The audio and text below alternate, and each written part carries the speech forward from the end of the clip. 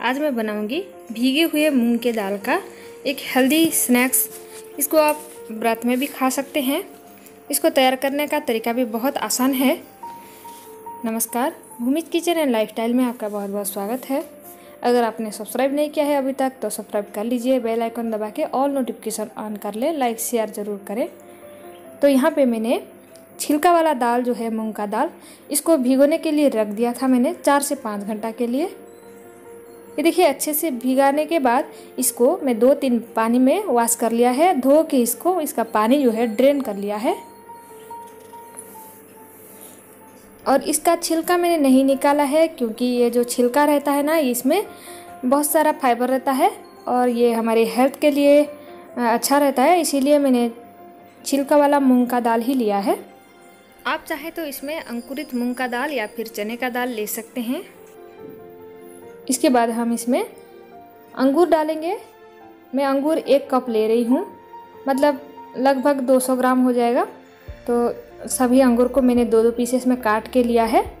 अगर आप चाहें तो इसमें केला या फिर अनार के दाने भी ले सकते हैं। और इसमें मैंने कुछ ड्राई फ्रूट्स लिया है, बादाम, काजू और किशमिश। और इसमें मैं किशमिश का मात्रा कम ले रही हूँ, क्योंकि मैंने फ्रेश अंगूर लिया है, इसीलिए अगर आपको ज़्यादा पसंद है तो थोड़ा ज़्यादा भी डाल सकते हैं इसमें किशमिश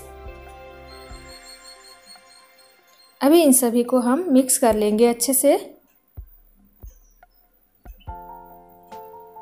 अभी मैं इसमें डालूँगी नारियल का कसा हुआ नारियल। इसमें कद्दूकस किया हुआ नारियल एक कप डालेंगे और इसको फिर से हम मिक्स करेंगे।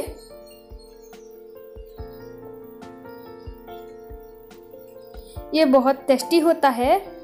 आप चाहे बच्चे को दे सकते हैं या फिर बड़े। नो ऑयल वाला जो स्नैक्स है, ये वाला।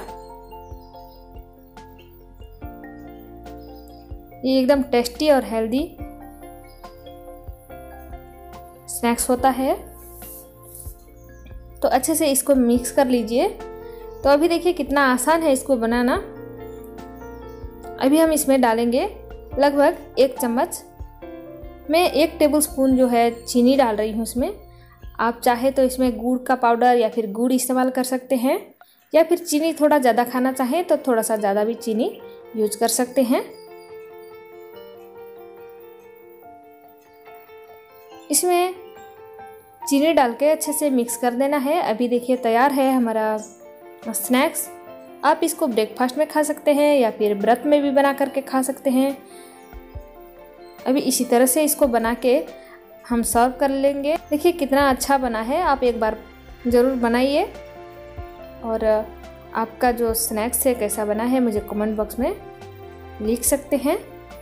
और दूसरे रेसिपी वगैरह देखने के लिए ऊपर आ रहे पेज पर या फिर डिस्क्रिप्शन बॉक्स में चेक कर सकते हैं। Thank you